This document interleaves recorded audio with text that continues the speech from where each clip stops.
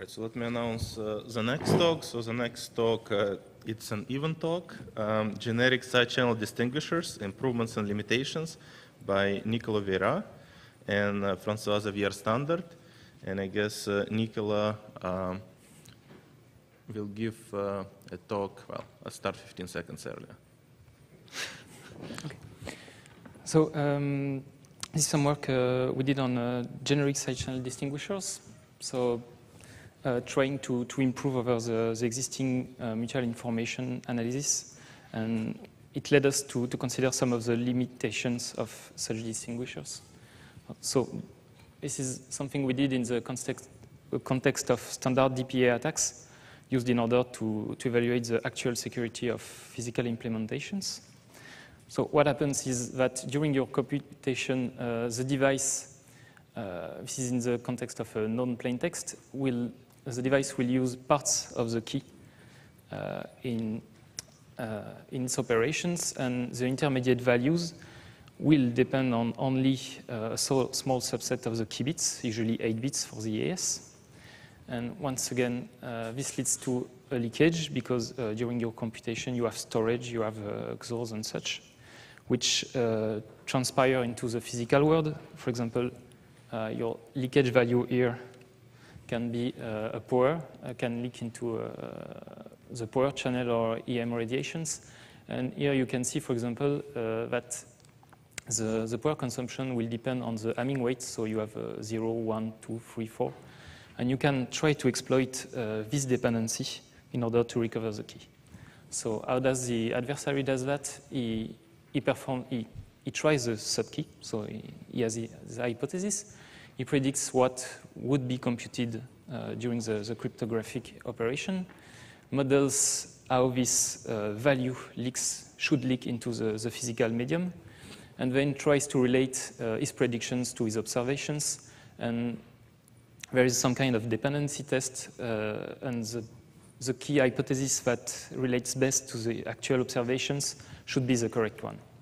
So the two main ingredients here are the models. So how does the, the value being computed uh, transpire into the uh, impacts the, the medium, and then uh, the dependency test between uh, observations and predictions. So uh, for the leakage model, uh, you have two, two adversarial scenarios. first one is the profile case. So basically it says that the adversary can, before the attack, before the actual attack, control the device and uh, feed it uh, various plain texts and uh, keys. The goal, the, the, goal being to, to perform a preliminary estimation of the, the, density of the leakages. So after that, you have different kinds of estimations using Gaussian distributions, mixture models, and such. And uh, the other case where the adversary is not so powerful, we just give him a device with uh, a fixed secret key, and he has to try to recover it so what is needed now is uh, he has to perform an assumption on the distribution of the leakages, usually based on his intuition about how the device should leak. So a typical example uh, is the Hamming weight that I showed before and Caroline used. Uh, but you have some more advanced uh, hypotheses depending on the, the technology. And once you've chosen your leakage model, the second ingredient is uh, choosing the dependency test because uh, different kinds of tests will be able to, to detect uh, more or less complicated uh, scenarios. So for example, a dependency test can use uh, only univariate dependencies such as a Pearson correlation or multivariate. Uh, you can also use exploit different moments in your distributions, maybe only the mean on the variance or any kind of uh, moments, so skewness and higher moments. And also you can maybe only detect some specific kinds of dependencies between observations and uh, predictions, so linear dependency, monotonic, or any kind of dependency from an information theoretic uh, point of view. So given all these, uh, these choices, uh, you have a kind of a trade-off be between efficiency and genericity.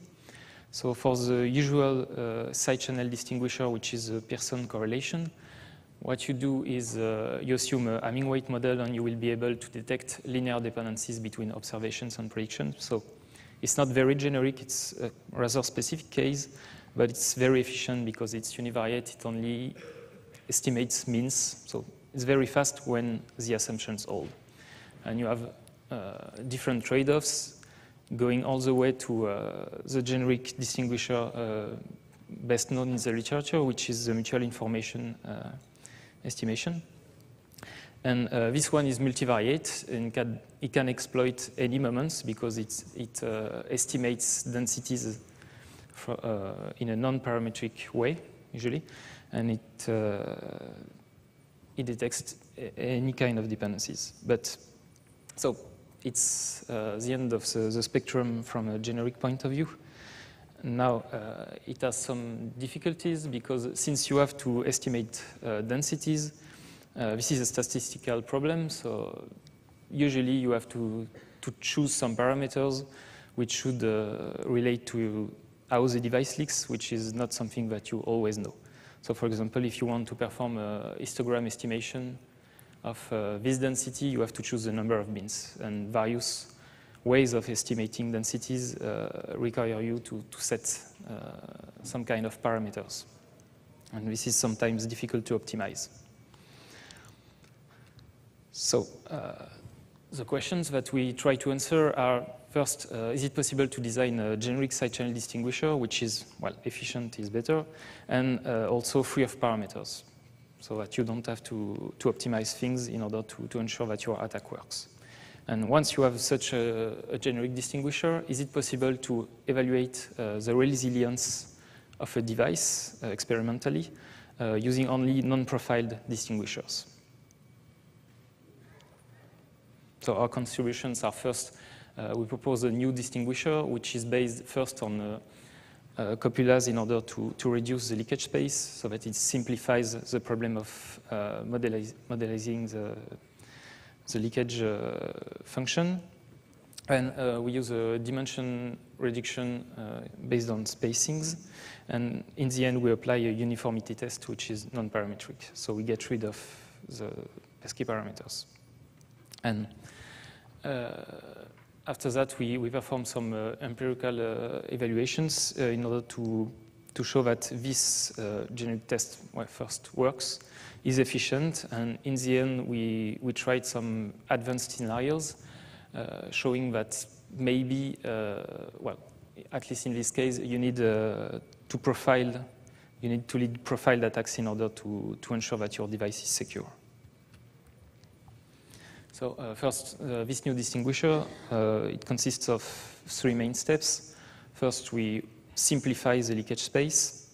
Then we sample uh, a value, uh, a distance between samples, which uh, has a specific shape when it's actually uniform, so for a wrong key hypothesis.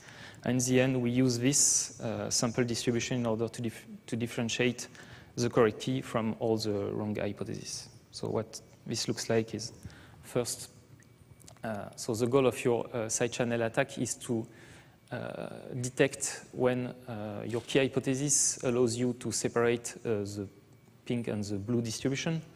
So you try to, to sort them and do something meaningful. And the idea is that for a wrong key hypothesis, you just perform a random sampling. So it shouldn't be different from the marginal distribution. And the statistical issue here is that the marginal distribution can be complicated and hard to model. So what we do is first uh, we project the samples through the empirical cumulant, which has this very nice property that uh, it's easy to estimate. It's just a sorting of the samples. And everything falls back onto a uniform distribution, so very simple distribution. And now uh, the attack is that if you perform a wrong key hypothesis, uh, your sorting of the samples, depending on your leakage models values, uh, should look like a uniform distribution. And if you have the correct key now, you do something meaningful, which is, well, the only, thing, the only criterion is different from uniform.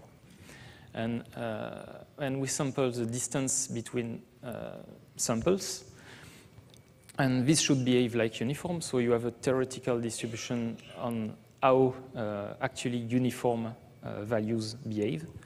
And you can see that uh, for a key hypothesis, they tend to, to behave this way. So, and the nice thing also compared to mutual information is that uh, all samples contribute to this estimation, whereas for mutual information, you need to perform separate estimations uh, depending on conditional distributions. So once you've done that, uh, this is just a problem of smoothing uh, these densities and comparing them in order to, to look for the distribution which is furthest from uh, the theoretical distribution, and this one is, is your uh, correct subkey. So no parameters to be set here. It's quite straightforward. And now, uh, in the, when you have more than one dimension, so here, uh, this is an example, uh, it's masking countermeasures, Uh, so that you have only uh, bivariate dependencies that you can exploit uh, to recover the key. And what we do in the first step is a copula reduction, meaning that you apply this cumulant in each dimension independently. And the nice property is that any dependency in the original space is preserved uh, once you, you project. So you have now you're only working on between zero and one, so it's a regular space, easy to manage. And second step is the same as before. You sample the distance between pairs of samples and uh, this is where you, you reduce your dim dimension because uh, this distance is just a real value, so it's one dimension. You sample uh, the distribution of this distance for the correct key, for the wrong key, and once again, uh, you see that for the wrong key, it should behave as uniform. So you have a theoretical uh, distribution, which is a dashed green one here, which corresponds to perfectly uniform samples. And the wrong key hypothesis is very close to that. So you can differentiate between key hypothesis and just take the one that diverges most. And this is how you, you perform your side channel attack. So this is nice, but uh, we led some experiments uh, in order to validate uh, this, uh, this distinguisher, uh, ranging from a very simple case uh, using Hamming weight leakage and uh, onto actual experiments with uh, current technologies such as uh, 65 nanometers. And we try to extrapolate what will happen in next generations. So it's uh, simulations based on uh, what uh, dual rail implementation on 65 nanometers should behave like. First, very simple case. So it's a univariate dependency with Hamming weight leakage, so rather simple and we compared our distinguisher with uh, the correlation um, coefficient, uh, which is very efficient in this, in this case because it's tuned specifically for this kind of leakages, so we feed it exactly what it needs, and it's very fast. But uh, we see that uh, generic tests, such as uh, mutual information and this, this te the test we propose, uh, also work, which is a first good first step, uh, but uh, they're uh, less efficient because they are less specific to this particular leakage function. Now we move on to a slightly more challenging case. So the leakage function is still uh, rather simple, but now uh, the dependencies are bivariate. So uh, correlation and least squares are not applicable as such. You need to use uh, distinguisher that can exploit uh, multivariate dependencies. So we compared our distinguisher to the mutual information, and well, both work, but uh, this new test is more efficient because mainly of the, the weight uses samples in order to, to estimate just one distribution. So it's slightly uh, more efficient in this case than MIA. Plus, uh, there is no parameters to be set, so it's simpler to use. Uh, now we move uh, onto actual measurements taken, taken from uh, CMOS 65 nanometers. And this kind of technology leaks in a more complex way, so the leakage function is not so, not so easy to, to infer. And uh, we try to feed it with uh, a 7-bit model, which corresponds to the, as close to identity as you can get for an AES. You, can use, you can't use actually an 8-bit model. And what happens is here is uh, the attacks don't seem to work. So it's not because uh, the device is protected, it's because the leakage model here is too far from the reality. So we had to lead some kind of profiling beforehand in order to, to infer a relevant model. So, and now you see that uh, the attack using a, a relevant model actually worked. So the device was not secure, it's just that the leakage model before even the dependency test was hard to infer uh, using just engineering intuition. And uh, now we move on to uh, simulations of dual implementation, so a very uh, complicated uh, leakage function which is highly nonlinear. Uh, we see that uh, the usual distinguishers, so correlation and least square regression, don't work at all because they exploit linear dependencies, which in this case don't exist. And uh, the generic distinguishers then work as long as the leakage model is relevant. So we can exploit this kind of nonlinear uh, leakages using generic distinguishers. So this is one of the cases where we need uh, generic distinguishers rather than the specific ones. And now an even, uh, even a more complicated case. Uh, so still, uh, we have a nonlinear leakage, but now we, on top of that, we added a masking countermeasure, so it's a bivariate dependency. And even uh, using a relevant model, now the generic distinguishers cannot attack successfully because of the interactions between uh, the two dimensions.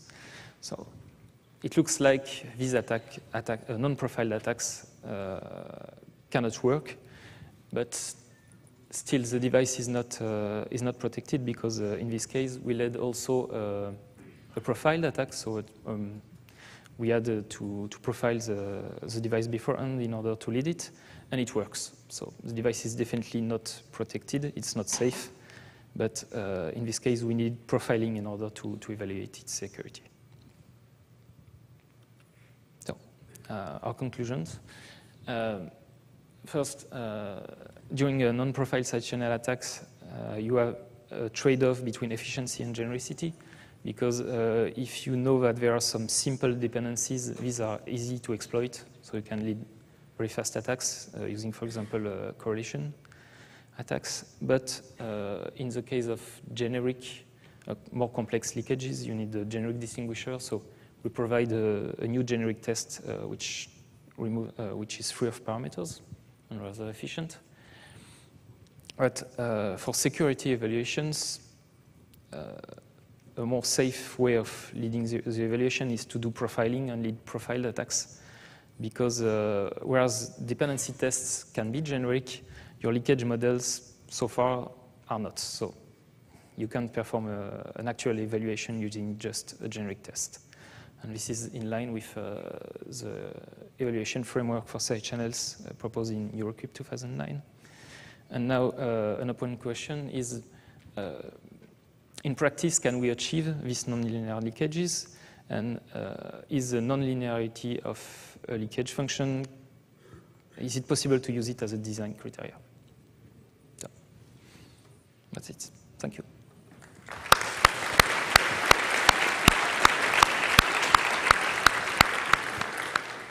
Any questions?